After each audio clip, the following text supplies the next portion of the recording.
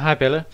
Um, so this is a quick video just to run through the the process and I will send you the documentation as well. So so yeah, let's get to that. So I've set up a QGIS project and in this QGIS project we have households, we've got the major roads, then we've got the this is the exported uh, version of the household. So so for instance, I've just exported some local households that intersect with the grid these are the all of the other households. So when I export this to QField, I'm not going to be exporting all of the households because that file is too big.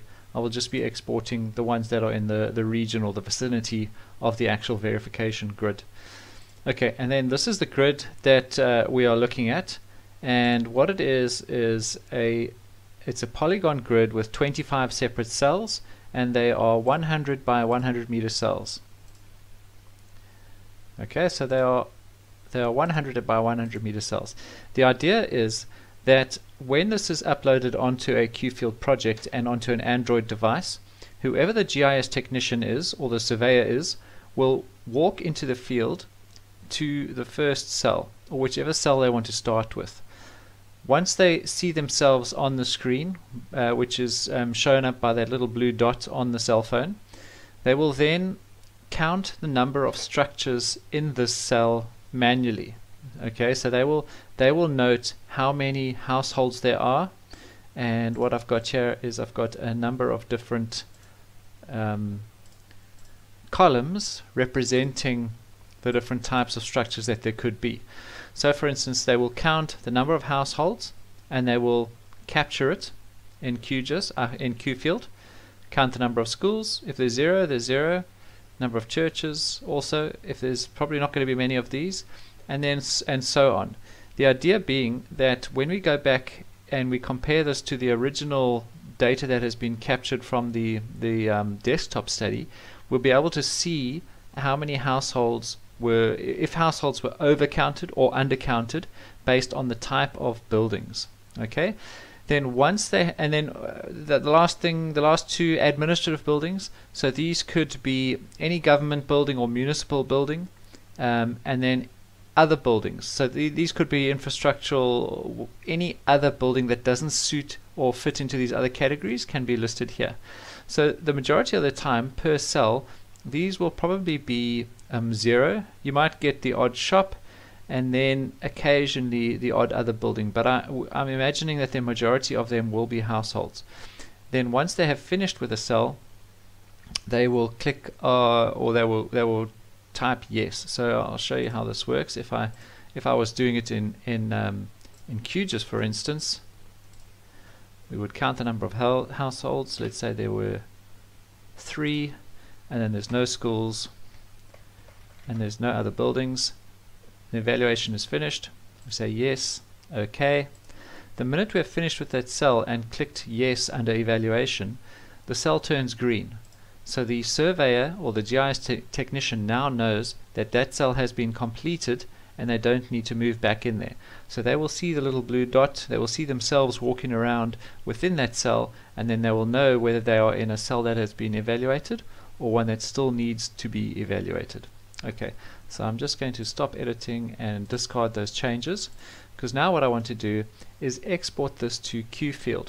So then we'll go to QSync package for QField. I'll just double check the information here. And so we are going to export the Google Hybrid background image. Alright. Yes. Uh, we are not going to export the Google satellite imagery. We will forward the we will bring through the household uh, information. Um, the bigger one or the the, the, the majority or the, the, the broader area households we are not going to bring through.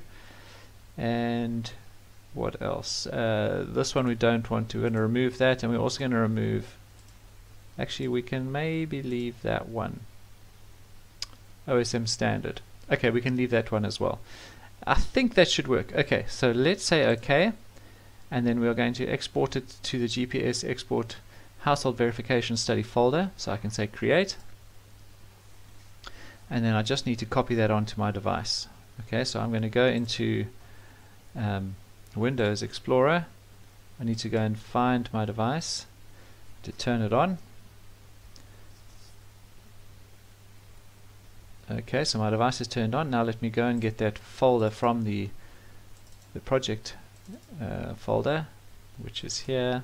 It's this one here. So I'm going to copy that one. Go back to my cell phone. I'll put it in documents and I'll paste it in there. Okay, so that's what you will do per device for whoever's going into the field to survey it. And what we might do, currently there's only one verification grid, but we might add a number of grids for different parts of the country. So we want to, to, to do this verification study for different areas just to compare the data and see if there is a uniform uh, discrepancy or if there are any discrepancies just to get an idea of, of what those uh, differences might be. Okay, so we will all, all we'll do is we'll just um, recreate that grid and just paste it in different areas. So then once that whole grid is turned green, for instance, if the surveyor has got time to go and capture another grid during the day, they can just go to the other grid and work on that one.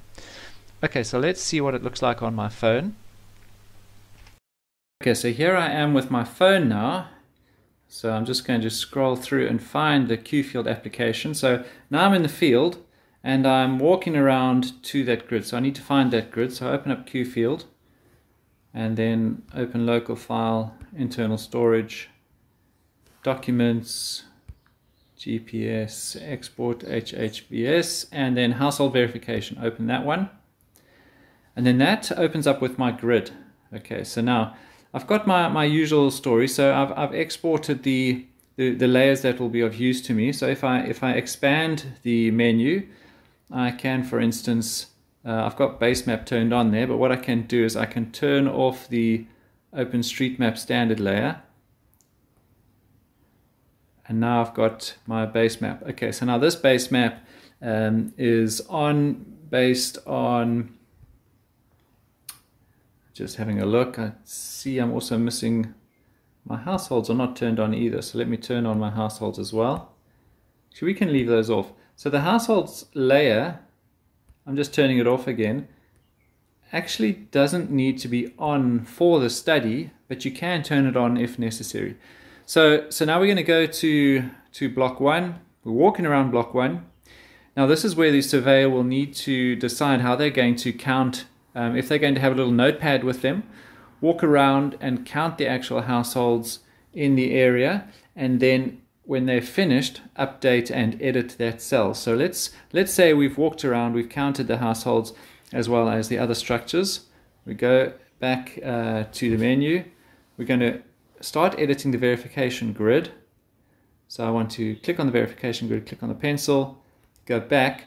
Okay, I can now edit it. So now if I select that cell, okay, it, it pops up. And then what I do is I click on the, the, the relative ID for that cell. And now I can actually start populating. So I'm going to, I need to start editing. So I click on the little, the little A and a pencil to start editing and then I can say okay there were two households there. All right. And there were no schools. So you actually don't need to fill out anything if there if there's no other data. We can maybe say there was uh, one shop as well. And then lastly when you're finished we say all right we've finished the evaluation of this particular cell. So we can say yes. And then click on the tick to finish that evaluation and then we can then we can move off to the next one. So the minute you have finished with one, it turns green. So we now know that that cell has been evaluated and we can move on to the next cell and start counting structures. When all 25 cells are green, that's finished and we can move to the next grid or we can take this phone back and hand it back to the GIS technician. Okay, so when we are finished, it's just a case of downloading that data from our phones back onto our computer. So what I'm going to do is I'm going to delete the original files, that export file for verification study. In fact, what I can do is what I'll rather do is I'm going to, let's duplicate this, I'm going to copy and paste that and rename it export from export to down download and just rename it like that. Okay, so now that we'll just make it empty, take everything out of it. So we'll go to our phone, get that information. So I'm just going to copy the contents. Oh, I've gone too far up. Back to that folder. Verification study, we'll put it in here now. Paste it in there. And then what we can do is we can actually go and open that in in QGIS. Let's discard these changes. Let's go and open that one. So this is when the, the actual verification study will start where we'll do the comparisons. So this is not really important to know just yet. Uh, the, just the process of capturing and updating that data um, that's what we want to get to with this so far.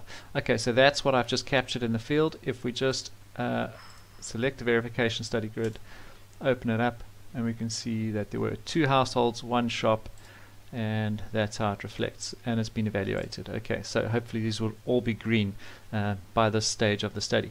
Then it's just going to be a case of us turning on the households doing a count points in polygon and then comparing the uh, the columns and maybe working out a percentage error and then highlighting or coloring up graduating a, a color based on that error so that areas that are red have got a high, uh, a large difference. Areas that are green maybe have a low difference, and you can immediately see where the potential errors are, and if we need to uh, apply some sort of change or some sort of uh, correction factor to the data that we have.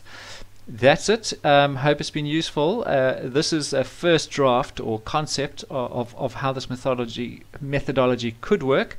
Um, maybe show it to Irvin and John and then uh, we can take it from there. If we need to make some changes, if they think the methodology should change slightly, uh, we can yeah we can take it from there and see what would work going forward.